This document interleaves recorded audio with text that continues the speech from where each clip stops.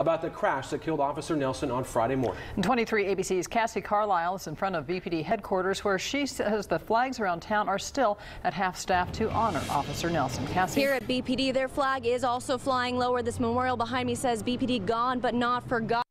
If you look over here at this memorial wall, Officer David Nelson is the next name that is going to come up. The last one was William Sokola over 30 years ago. If you come over here and look at these trees down Truxtun, all of them have blue ribbons on them that are honoring Nelson, and this isn't the only place that he's being remembered.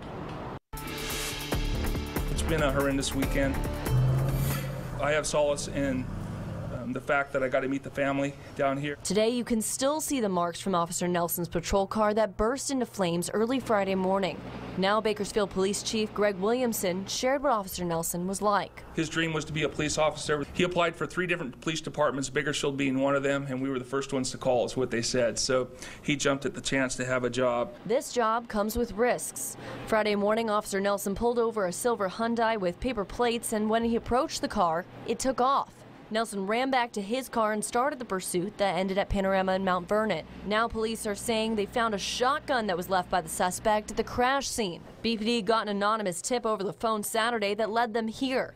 Police arrested Julian Hernandez, and the chief is pretty confident he's the one who led Officer Nelson on the deadly pursuit. 23 ABC talked with neighbors to find out who Hernandez was visiting, but no one would confirm that to us. I heard that, that he's friends with somebody here. I don't know who told you that lie.